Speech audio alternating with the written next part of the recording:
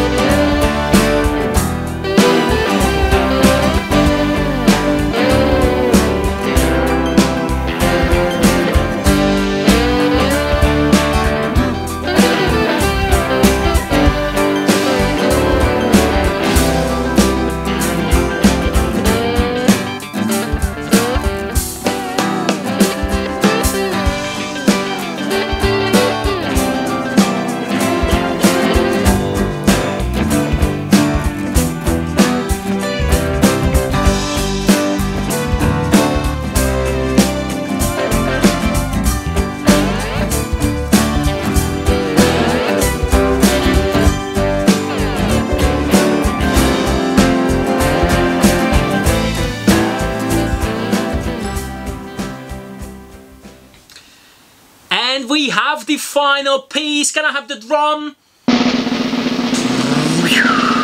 Look at that. You can see all the colors. It didn't form one single color, so it didn't blend, which I just love it even more. You can see every single color. Um, I think it just gives that very special look. We have um, different type. We have some alcohol and we also have um, some metallic powder um, which gives again a very unique look. You can remove the top and attach at the back. Not too top heavy so overall I think is a good good balance when you when you're using it. Um, use some CA glue, some super glue to make it very glossy applied five or six uh, layers. Then I took it from all the way from um, 800 grids with the micro mesh went all the way to 12,000 hopefully you also enjoy this video. And as I mentioned at the beginning I'm working on a big project my first ever um, segmented turning on the lathes so make sure you subscribe so you won't miss any of my future projects. But again thank you very much for watching and see you back in a few days